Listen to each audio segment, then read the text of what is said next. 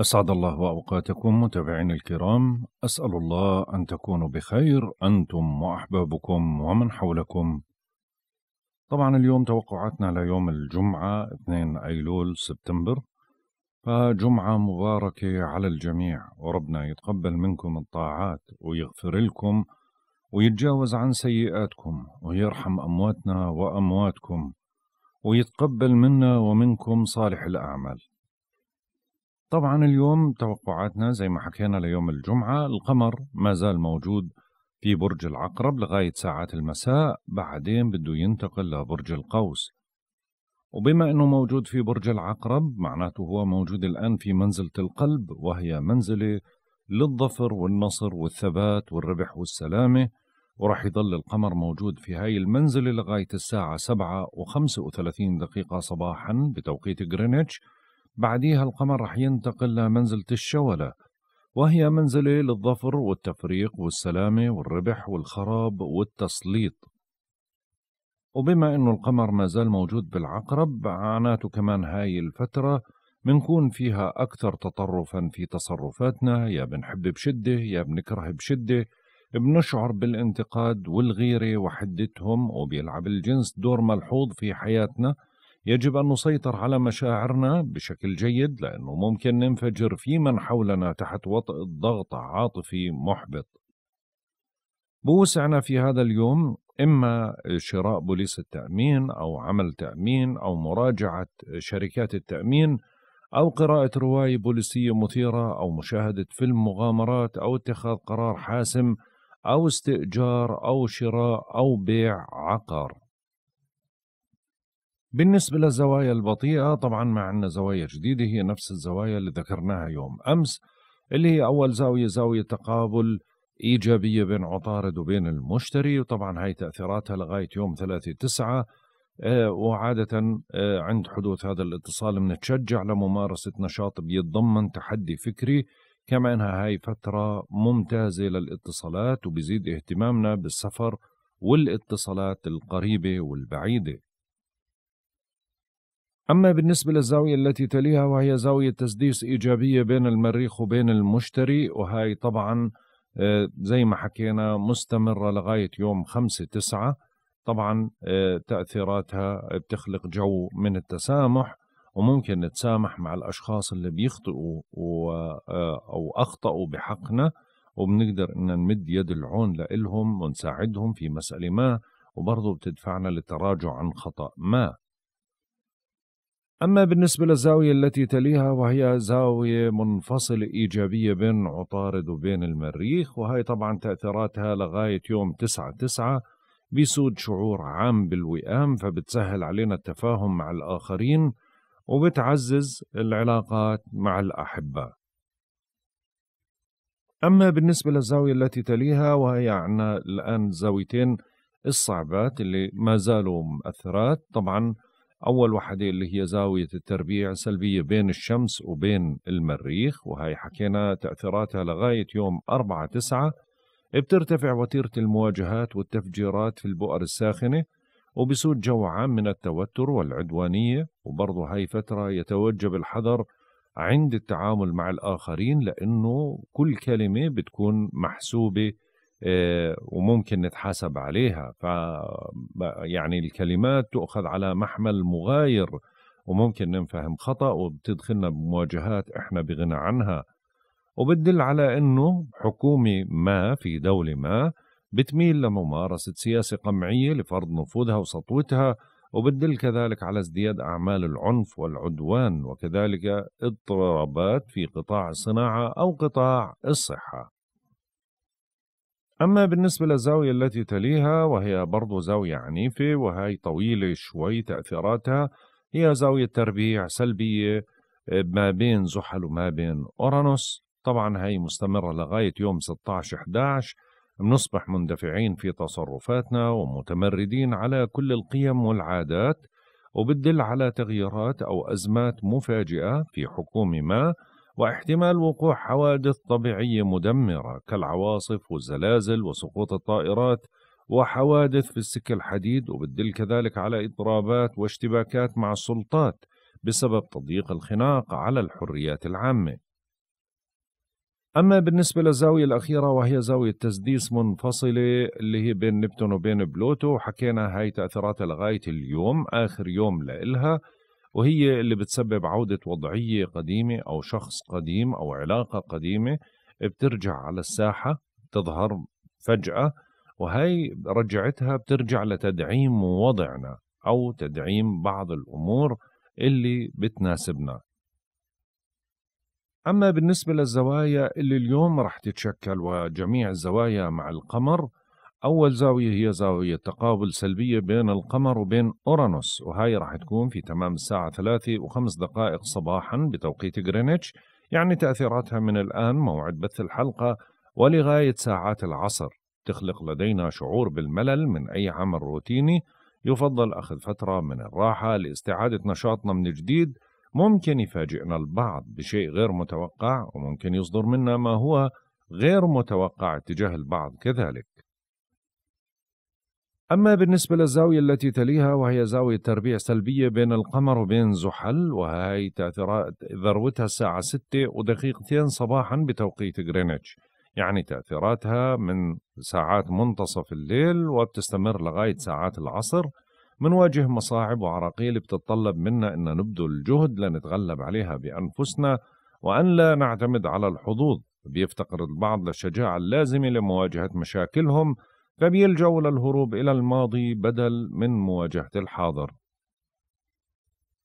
أما بالنسبة للزاوية التي تليها وهي زاوية التثليث الإيجابية بين القمر وبين نبتون وهاي رح تكون في تمام الساعة 12 و 51 دقيقة بعد الظهر بتوقيت غرينتش بتعزز الخيال الخصب وبيقوى الحدس وعليه فإنه أكثر المستفيدين هم اللي بيعملوا بمجالات ذات صلة بذلك كالفن والديكور والتجميل وطبعا هاي تأثيراتها من ساعات الصباح لغاية ساعات المساء. أما بالنسبة للزاوية التي تليها وهي زاوية تسديس إيجابية بين القمر وبين بلوتو وهي رح تكون في تمام الساعة 4 و22 دقيقة عصرا بتوقيت غرينتش. وهاي الزاوية بتعزز قدرتنا على السيطرة على مشاعرنا وأفكارنا ومنتمكن من الغوص عميقا في نفوسنا وإحداث التغييرات المطلوبة. طبعا تأثيراتها من ساعات تقريبا يعني الضحى ما قبل الظهر بشوي وبتستمر لغاية ساعات المساء.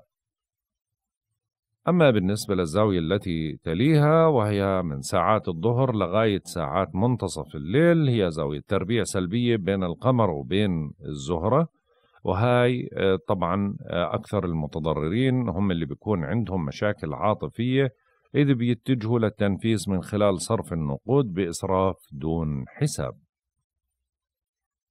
بعد هاي الزاوية مباشرة بيبدأ عنا خلو المسار. طبعا خلو المسار مدته تقريبا بحدود الخمس ساعات.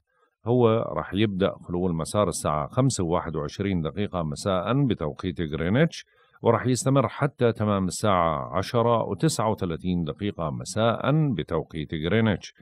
هذا بيعني أنه الفترة المذكورة لا تصلح للبدء بأي عمل جديد أو مهم مثل توقيع عقد أو خطوبة أو زواج. أو شراء شيء ثمين بل إكمال العمل اللي بدأنا فيه قبل خلو المسار.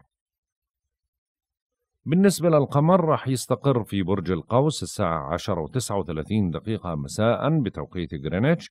عشان هيك من ساعات المساء بنشعر بالابتهاج وبنجد الناس أكثر مرحا ومنطلق على سجيتنا وبيتجه تفكيرنا من خلال تفاؤلنا إلى عالم الفلسفة والدراسات الدينية كما منميل للترحال والسفر والرياضة والمغامرة وبوسعنا اقتراض المال ودراسة لغة جديدة والاستمتاع بهواية ما وتجربة الحظ والتخطيط لرحلة ما أو إجراء مكالمة مع شخص في مكان بعيد.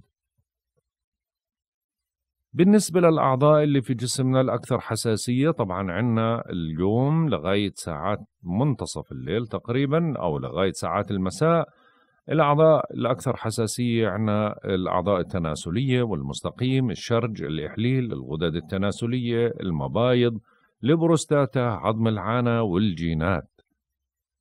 أما في ساعات المساء المتأخرة فبتصير الأعضاء الأكثر حساسية الكبد والعجز وعظم الفخذ عظم آخر العمود الفقري عضلات الورك مفصل الورك الفقرات القطنية والعضلات القطنية.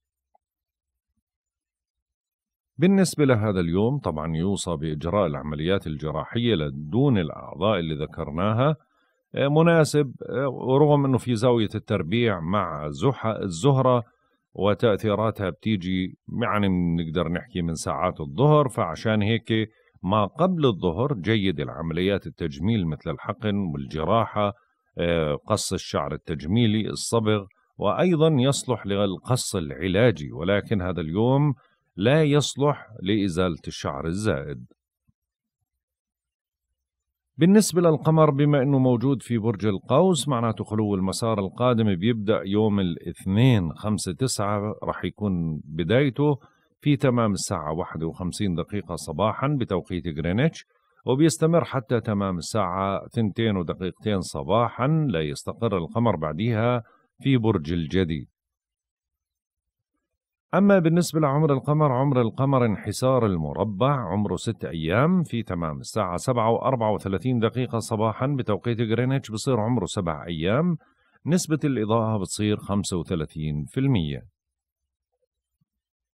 بالنسبة لمزاج الكواكب وطباع الكواكب لهذا اليوم الشمس في العذراء حتى يوم 23 تسعة منتحسة بنسبة 15% القمر في العقرب بده ينتقل للقوس طبعا رح يضل في القوس لغاية يوم يوم خمسة تسعة. طبعا هو الآن منتحس بنسبة 40% في ساعات المساء بصير سعيد بنسبة 15% عطارد في الميزان حتى يوم تسعة عشرة سعيد بنسبة 15% الزهرة في الأسد حتى يوم خمسة تسعة هو الآن منتحس بنسبة 40% في ساعات العصر بصير منتحس بنسبة 15% المريخ في الجوزاء حتى يوم 30 عشرة سعيد بنسبة 30% المشتري في الحمل بيتراجع حتى يوم 28 عشرة منتحس بنسبة 15% زحل في الدلو بيتراجع حتى يوم 23 عشرة منتحس بنسبة 40% أورانوس في الثور بيتراجع حتى يوم 22 واحد منتحس بنسبة 10%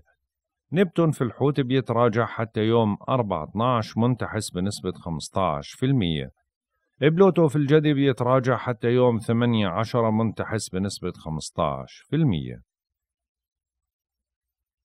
وصلنا للتوقعات اليومية. برج الحمل.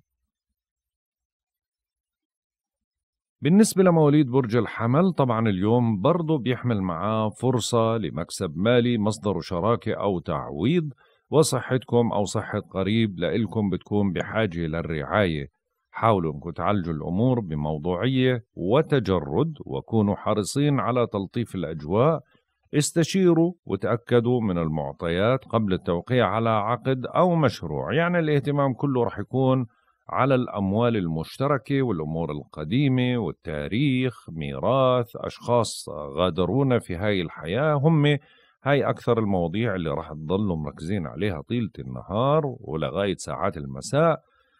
قرابة ساعات المساء إحنا ما بدنا نحكي عن توقعات ساعات المساء في حلقة الغد رح نذكرها ولكن تلميحا انه القمر بينتقل للبيت التاسع اللي هو بيت العلاقات مع الأجانب والعلاقات الخارجية والاتصالات الخارجية وأمور إلها علاقة بالسفر وأيضا الامتحانات والمقابلات وهي بيت قوي بالنسبة لكم برج الثور.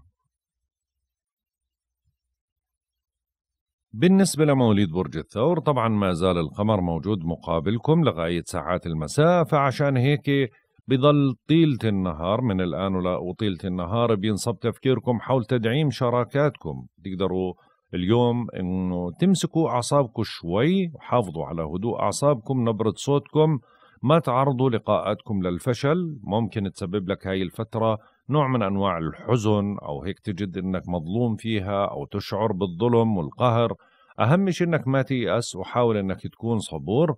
لغاية ساعات المساء من ساعات المساء القمر رح يتحرك للبيت الثامن فبصير اهتمامك كله بالأموال المشتركة يعني اللي بتيجي من زوج من بنك ضريبة تأمين ديون قروض أشياء من هذا القبيل الاهتمامات وبتخف عليك بعض الضغوطات اللي أنت بتعاني منها لك يومين ولكن الاهتمامات كلها بتصير إما بصحتك أو صحة أحد الأحبة أو أمور منزلية. برج الجوزاء.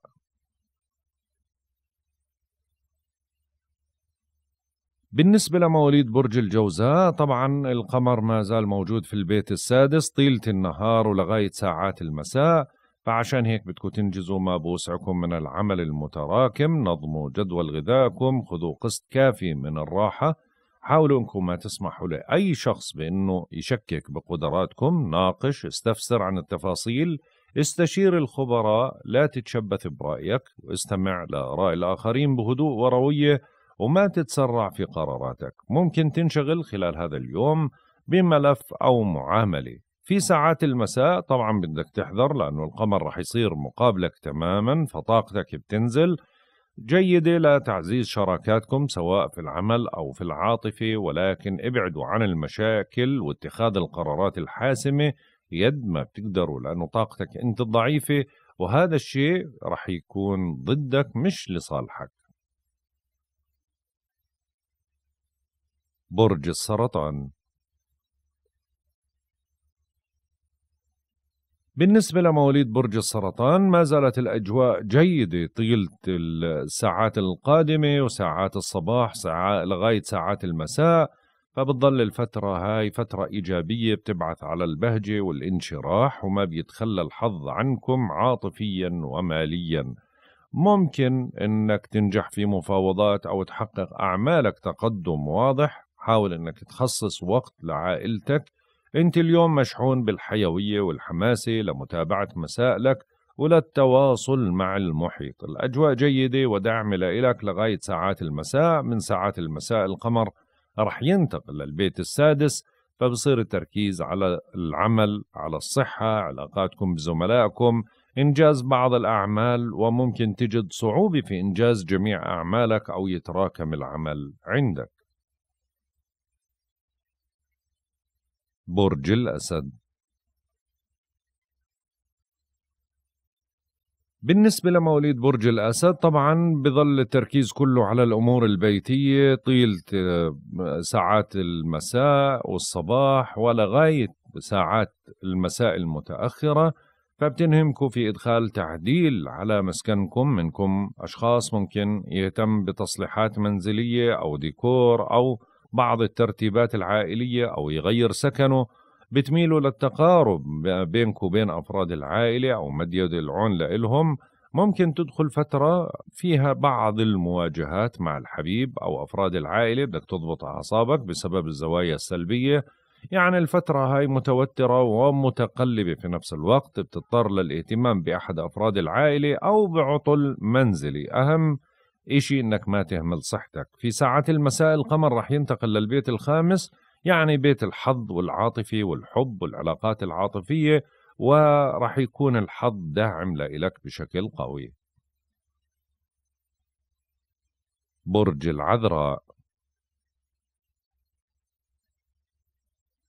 بالنسبة لمواليد برج العذراء طبعا بظل الأجواء من الآن لغاية ساعات المساء نشاط عالي جدا دراسة سفر اتصالات فترة مناسبة برضو.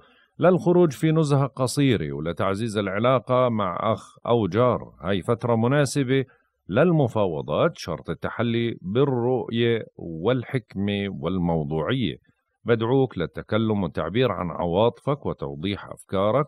منكم أشخاص ممكن يطلق حملة ترويجية أو يسمع خبر سار. في ساعات المساء المتأخرة بصير الاهتمام له علاقة بالبيت والعائلة. فهنا رح تنهمكم في إدخال تعديل على مسكنكم أشخاص ممكن شوي يهتموا ببعض المسائل العائلية أو مع الحبيب. يعني برضو فترة شوي بكون فيها بعض التوتر ممكن يصير عطل منزلي أو اهتمام بتصليحات أو مشكلة عائلية مثلا بتحاول تحلها. برج الميزان بالنسبة لمواليد برج الميزان بينصب اهتمامكم حول ضبط ميزانيتكم والفرصة متاحة للحصول على مال بيكون على الأغلب من عمل إضافي. هاي الفترة فترة حافلة بالأعمال والمسؤوليات. أهم شيء إنكم تتفائلوا بالخير حاولوا إنكم تنطلقوا اسعوا للوفاق والحلول الوسط لطفوا الأجواء حسنوا العلاقات. الفترة هاي برضو فيها انشغالات على الصعيد المالي. من الآن ولغاية ساعات المساء كل الأمور المالية هي اللي تشغل فكركم. أهم شيء أنه تنتبهوا على أموالكم من السرقة أو الضياع أو من بعض المحتالين ومن المصاريف اللي ما لها أي داعي. أما في ساعات المساء طبعا رح تنشطوا في الدراسة والسفر والاتصالات وبتصير الفترة هاي ممتازة لتعزيز العلاقة مع الإخوة مع الجيران فترة مناسبة جدا للمفاوضات. شرط أنه تضبط أعصابك أثناء الحوار والنقاش. برج العقرب. بالنسبة لمواليد برج العقرب طبعا أنتم آه، نشيطون وحيويون وبينجذب لكم أفراد من الجنس الآخر بتقدروا تبادروا لخطوة جديدة. من شأنها الدعم من مركزكم الاجتماعي بتدور الأحداث بسرعة كبيرة مع وجود القمر في برجكم وبتستعيد كامل حيويتك وممكن اليوم تتلقى جواب بتنتظره. تفرح لخبر أو لإنجاز معاملة بتنطلق بمهمة طال انتظارها. في إشي جديد رح يدخل حياتك وخصوصا إنه القمر في ساعات المساء برضه رح ينطلق للبيت المال. فعشان هيك بينصب اهتمامكم حول ضبط ميزانيتكم من ساعات المساء المتأخر والفرصة بتصير متاحة للحصول على مال بيكون على الأغلب من عمل إضافي. برضو في بعض الاهتمام بهدية بجائزة بتكريم بسداد بعض الفواتير أو الأمور الأخرى. برج القوس بالنسبة لمواليد برج القوس طبعا بتجتازوا بصورة عامة فترة غير مريحة خلال هذا اليوم كمان لأنه القمر ما زال موجود في بيت المتاعب ورح يضل لغاية ساعات المساء المتأخرة ليوصل لعندكم. فهاي فترة غير مريحة صحيا ونفسيا رغم عدم وجود أي مخاطر زي ما حكينا يوم أمس بس إنه إنجزوا ما بوسعكم من عمل ضروري وحاولوا إنكم تخلدوا للراحة وحاضروا من بعض المحتالين ومن بعض خيبات الأمل. الحظوظ عادة لما القمر بصير في بيت المتاعب بتكون قليلة فحاول إنك آه، ما تجازف خلال هذا اليوم. أما في ساعات المساء القمر رح ينتقل ويصير موجود عندكم فبتصيروا آه، عندكم نشاط عالي وحيوية وبينجذب لكم أفراد من الجنس الآخر.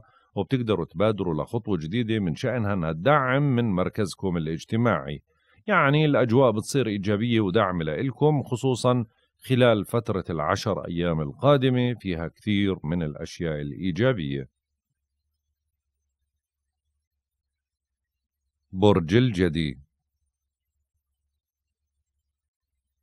بالنسبة لمواليد برج الجدي طبعا بتنشطوا اجتماعيا وبتلتقوا أشخاص بترتاحوا لصحبتهم خلال هذا اليوم.